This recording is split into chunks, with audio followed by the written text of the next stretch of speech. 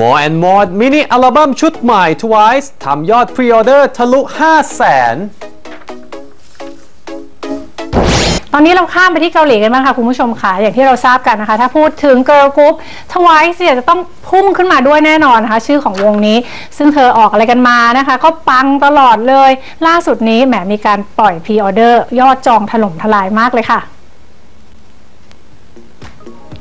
ไม่ว่าจะ comeback กลับมากี่รอบนะคะ ก็ปังทุกครั้งเลยจริง ๆสำหรับสาวๆวง Twice ค่ะ ที่ถือว่าเป็น Girl Group นะคะ ที่ประสบความสำเร็จมากที่สุดอีกวงหนึ่งเลยในวงการเพลง K-POP ค่ะ โดยล่าสุดทาง JYP Entertainment ก็ได้เปิดเผยนะคะ เมื่อวันที่ 27 พฤษภาคมที่ผ่านมาว่ายอดขายพรีออเดอร์ของ More and More มินิอัลบั้มชุดที่ 9 ของ Twice เนี่ยมียอดพรีออเดอร์ทะลุหลัก 500,000ก๊อปปี้ไปเป็นที่เรียบร้อยแล้วค่ะ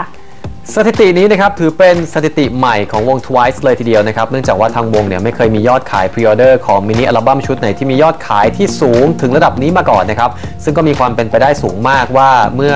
อัลบั้มวางจำหน่ายอย่างเป็นทางการนะครับในวันที่ 1 มิถุนายนนี้ Twice นะครับจะสามารถสร้างสถิตินะครับยอดขายเพิ่ม ได้อีกแน่นอน ส่วนงานเพลงนะครับในอัลบั้มใหม่เนี่ยก็น่าจะขึ้นอันดับที่1นะครับในชาร์ตเพลงชั้นนำทั่วประเทศบ้านเกิดได้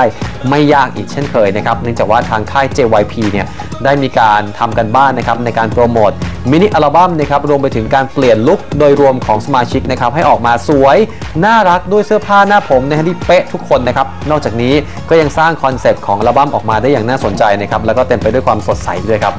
โอ้ลุคใหม่นี้ดีนะ ดูมีดีอะความแบบเหมือนกับขยับมาเป็นสาวที่มีความน่ารักสวยหวานแต่ว่าแอบเซ็กซี่เหมือนใช่เดิมอย่างนี้เลยฮะดูหน้าคนหา เนาะค่ะ